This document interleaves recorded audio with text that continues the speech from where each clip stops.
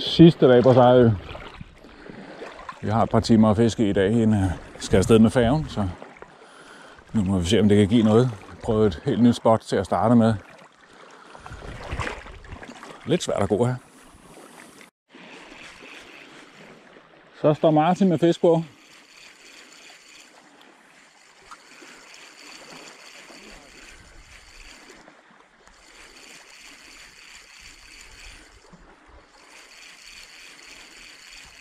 Og vi er næsten lige startet fiskeriet.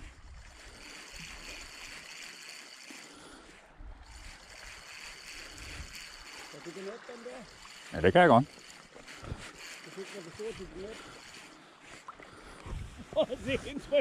Ja.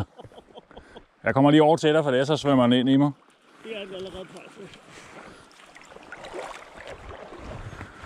Det er samme størrelse.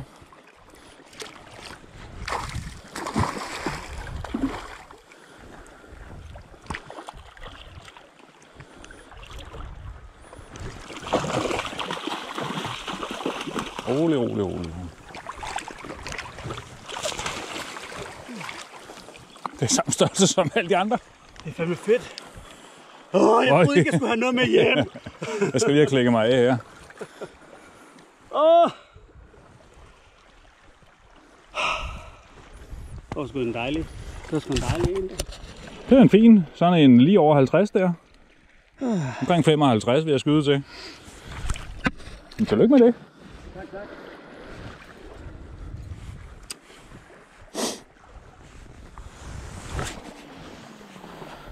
desværre lige givet i kameraet, så jeg fik slet ikke øh, filmet fighten her, men jeg har lige fået den her havred her.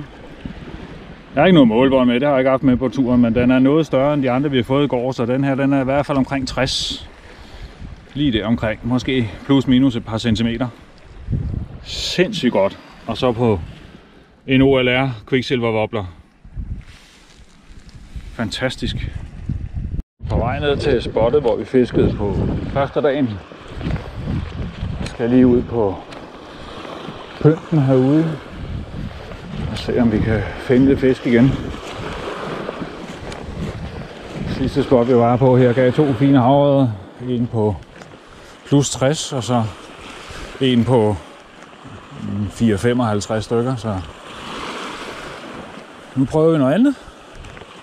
Der er et par timer inden at det første hold kører hjem og skal afsted med færgen, og så har vi yderligere to og en halv time, inden at vi selv skal afsted, min fætter og jeg. Så vi har lidt, lidt flere timer at fiske i.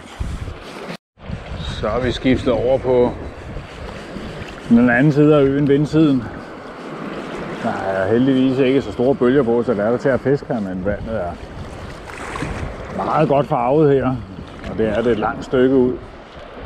Vi giver det lige en halv times tid her.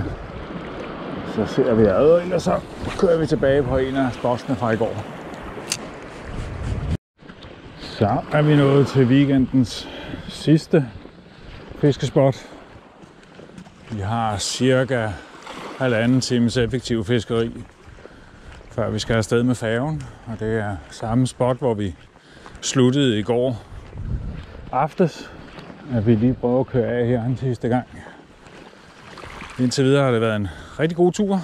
Det er, vi har været fire mand afsted. Lidt forskellige. Nogle har taget hjem lørdag, og nogle forkom først lørdag, men uh, alt i alt har vi fået 11 havre og to under mål, og resten i en rigtig god snitstørrelse på over, over 50 de fleste af dem. Så uh, nu kører vi lige den sidste halvanden time igennem her, og se om vi kan støve en fisk op her til sidst.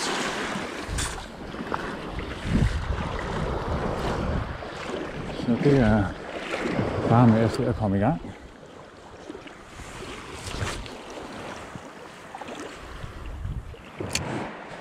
Jeg skal ud i bøssen i dag.